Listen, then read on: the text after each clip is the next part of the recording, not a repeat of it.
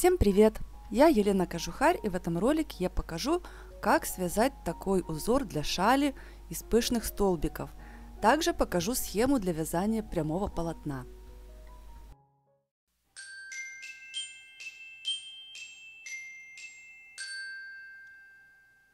Разбирать сегодня будем именно этот вариант шали и перед тем как приступим предлагаю посмотреть все схемы.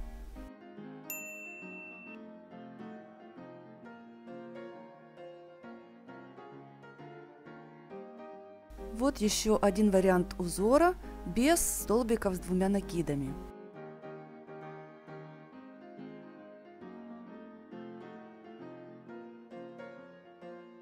Ну и, собственно, прямое полотно.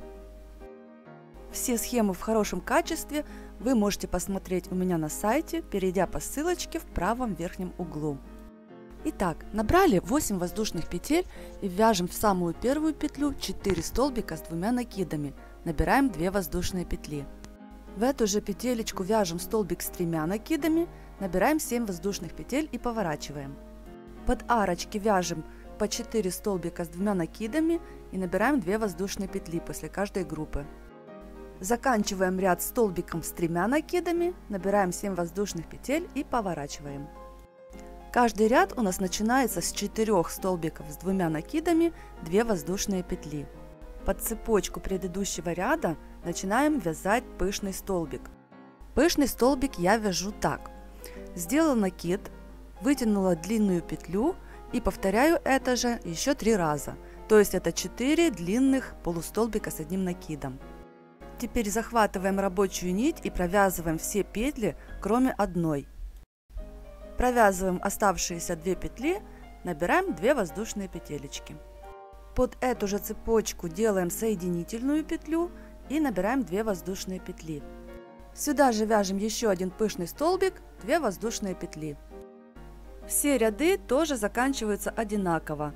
Под арочку вяжем 4 столбика с двумя накидами, набираем 2 воздушные петли, вяжем последний столбик с тремя накидами, 7 воздушных петель и поворачиваем.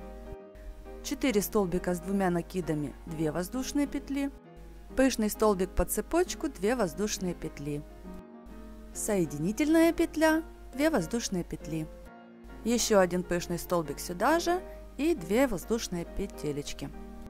Такую же галочку вяжем в следующий промежуток.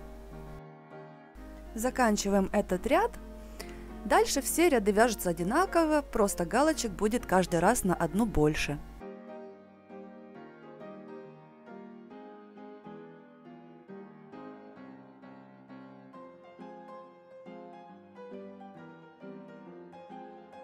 Вот такой прожорливый, но очень красивый узорчик получается.